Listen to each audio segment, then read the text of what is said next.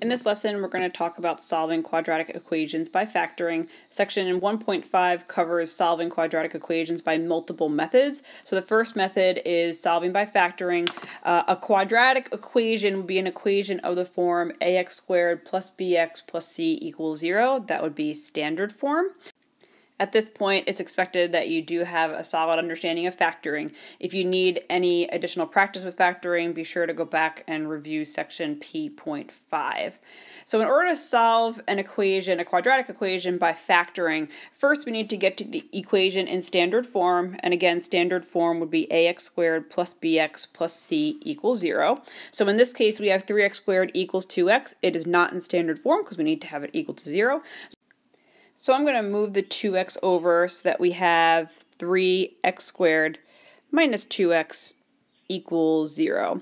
Now second, we need to factor this. When we're factoring, we want to always look for a greatest common factor first, which we actually do have here. We have a greatest common factor of x. So when solving by factoring, no matter how you're going to factor, you want to start looking for a greatest common factor first. So I can pull out an x, which means that we're left with 3x minus 2 equals 0.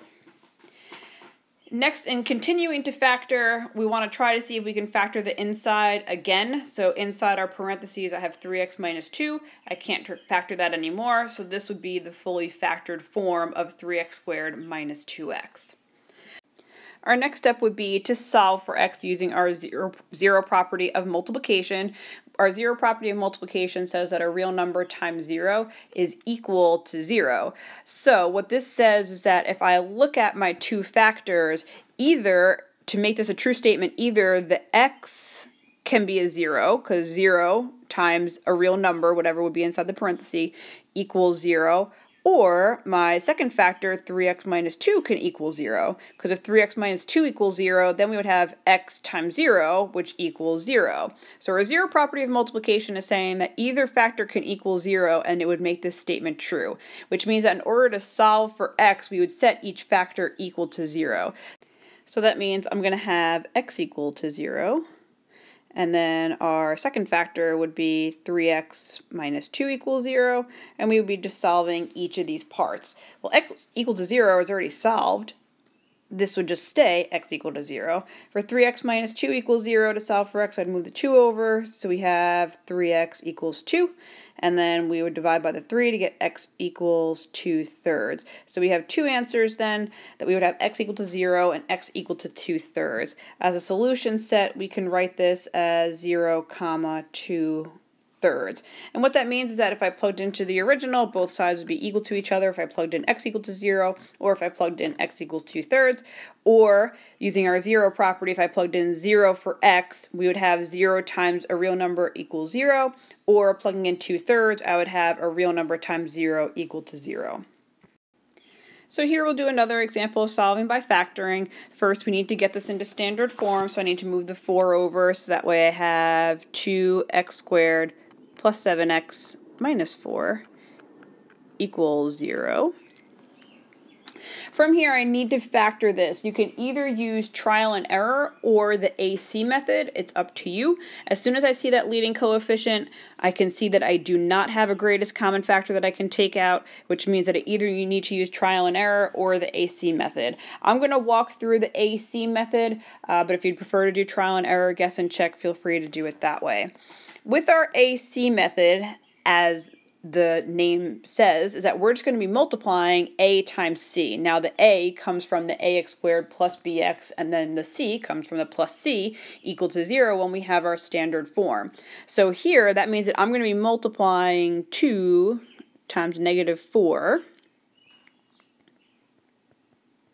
which would equal negative 8. Our next step in using the AC method would be to find our factors of negative 8 that add to the middle term coefficient. So what I mean is I want to find my factors of negative 8 that add to this positive 7 that we had here. So going through my factors of negative 8 that add to a positive 7, that would just end up being 8 and negative 1. Now our next step is that we need to rewrite our quadratic equation that was in standard form using these factors of 8 and negative 1. So what we're going to do is we are going to rewrite the 2x squared plus 7x minus 4 equals 0. I'm going to keep my 2x squared. I'm going to keep my minus 4, our constant. But now I need to break down that plus 7x using the 8 and the negative 1 that I found over here. So I need, I'm going to keep whatever the variable is. So since it was a 7x, I'm going to break this down, essentially splitting this up into two terms using the 8 and the negative 1 as plus 8x and minus 1x. So I broke down the 7x into plus 8x minus 1x. It actually does not matter if you put the minus 1x first and then the plus 8x, as long as you have them both there and you're keeping whatever the variable was from the 7x. So what happened was I broke down the middle. Now I have what looks like a longer quadratic equation. We have four terms. Whenever we have four terms, we can factor this using factor by grouping. So I'm going to rewrite what we have here so we have 2x squared plus 8x minus 1x minus 4 equals 0. So with our factor by grouping, I group two terms at a time together and we factor with greatest common factor within each group. So for 2x squared plus 8x, I could take out a GCF of 2x, which means we're left with an x plus 4. In our second grouping, I have minus 1x minus 4. So since our first term is negative, we would take out a negative. And even though it might seem like we don't have a greatest common factor, we do have a greatest common factor of 1. So I'm actually going to take out a negative 1. When we take out a negative 1, what happens is that our terms inside would change sign. So negative 1x would just become an x. The negative 4 would turn into a plus 4. If we did this correctly, then the inside of our parentheses in, from both pieces would be exactly the same. So it looks like we're in good shape because we have an x plus 4 and an x plus 4. Now from here, we're using greatest common factor again. I can see that we have an x plus 4 and an x plus 4. That's the greatest common factor. So I'm taking one of those out, right? One greatest common factor of x plus 4. And then what I'm left with is the 2x and the minus 1, which would be our second set of parentheses, still equal to 0. Now that we have the fully factored form, we're going to continue to solve for x using that zero property of multiplication. So setting each factor equal to 0, I would have x plus 4 equals 0, and then 2x minus 1 equals 0. So for x plus 4, moving the 4 over, we would get one answer of x equals negative 4. Solving for x on the right, we would have 2x equals 1. Dividing by 2, we would have x equals 1 half. So as a solution set, we would get negative 4 and 1 half as our final answer to the original quadratic equation.